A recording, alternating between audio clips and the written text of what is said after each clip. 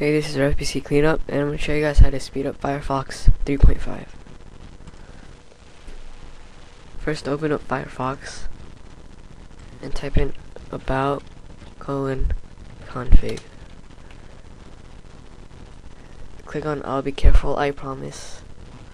And here, type in pipe. I'm not sure, but usually I think this is set to false and this is set to false. But you need to make it true.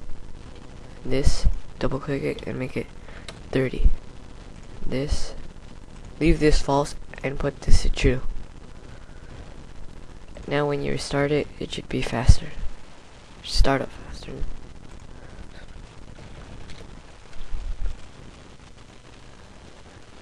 Another thing to do to speed up is click control J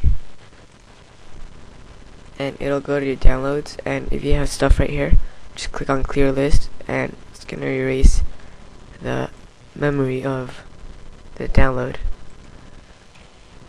Another thing is that people have a lot of add-ons and if you have a lot it's gonna slow it down. So what you want to do is if it's enabled you want to disable it.